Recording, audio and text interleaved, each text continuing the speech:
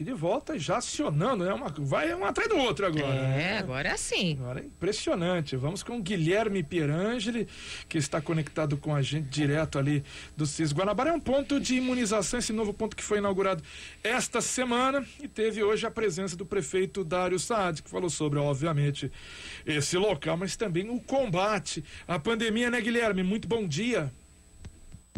Isso, bom dia Paradela, bom dia Lilian, todos que nos acompanham aqui no CIS Guanabara, como Paradela disse, né, começou na última terça-feira esse novo ponto de imunização na região central de Campinas, tem capacidade para atender, é, aplicar até 480 doses diariamente, é um ponto de vacinação aberto a todos que podem podem se agendar pelo site vacina.campinas.sp.gov.br, assim como qualquer outro centro de saúde aqui da cidade. Então, tem essa nova opção é, para principalmente que o pessoal da região central.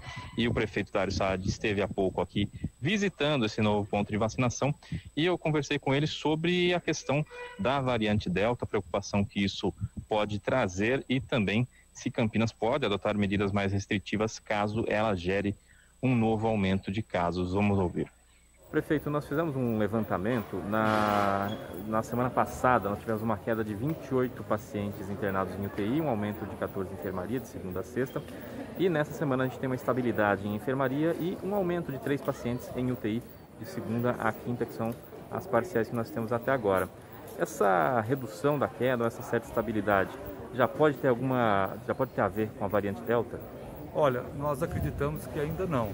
É, na nossa avaliação, a variante Delta já circula em Campinas. O Instituto Adolfo Lutz é, está fazendo uma avaliação aleatória da, de sequenciamento genético das amostras que Campinas enviam.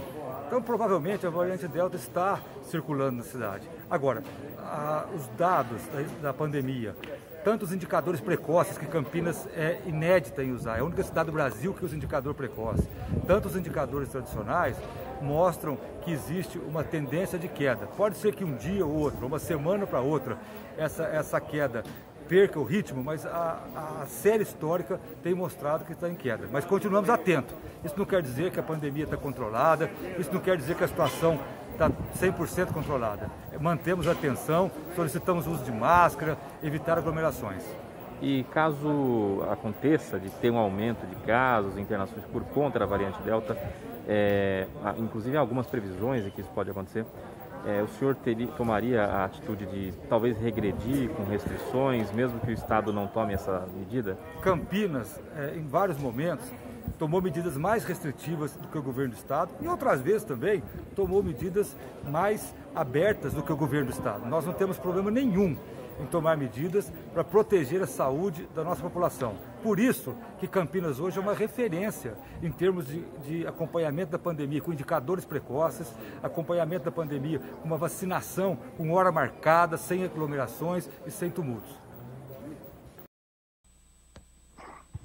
Bom, então é isso, prefeito, dizendo que não há problema nenhum em contrariar o Estado e, se preciso, adotar novamente medidas mais restritivas e de fato isso aconteceu em alguns momentos.